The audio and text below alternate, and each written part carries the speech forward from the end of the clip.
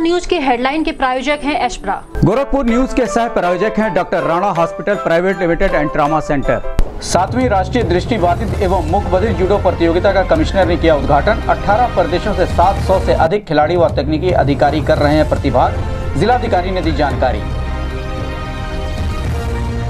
प्रदेश के उप मुख्यमंत्री केशव प्रसाद मौर्य ने निर्माणाधीन मिनी एनेक्सी भवन का किया निरीक्षण।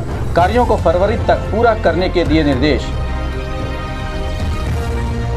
मंडल स्तरीय खादी एवं ग्रामोद्योग प्रदर्शनी का महापौर और जिलाधिकारी ने फीता काट कर किया उद्घाटन। ग्रामीण बेरोजगारी दूर करने में हो रहा है उपयोगी। राष्ट्रीय महिला आयोग की सदस्य, चंद्रमुखी की अध्यक्षता में संपन्न हुई जन सुनवाई। महिला उत्पीड़न के रोकथाम और पीड़ित महिलाओं को त्वरित न्याय दिलाने के दिए गए निर्देश।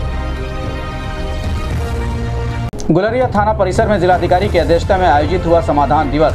डीएम व एसएसपी ने किया बन रहे यार्ड का निरीक्षण, फरियादियों के मामलों का किया गया निस्तारण। एसएसपी डॉक्टर सुनील गुप्ता की अध्यक्षता में पुलिस लाइन सभागार में आयोजित हुई बैठक, अपराध और अपराधियों पर अंकुश लगाने के दिए निर्देश।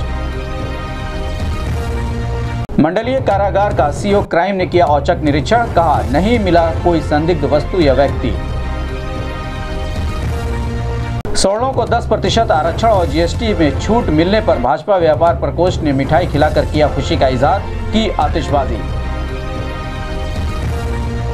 एडी इंटर कॉलेज में आयोजित हुआ पुरातन छात्रा सम्मेलन एवं सम्मान समारोह। पुरातन छात्रा और राष्ट्रीय महिला आयोग की सदस्य चंद्रमुखी देवी का हुआ सम्मान।